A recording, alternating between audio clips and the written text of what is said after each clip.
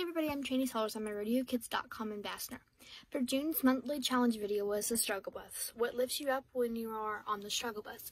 What lifts me up is reading the Bible and friends and family. They give me more support.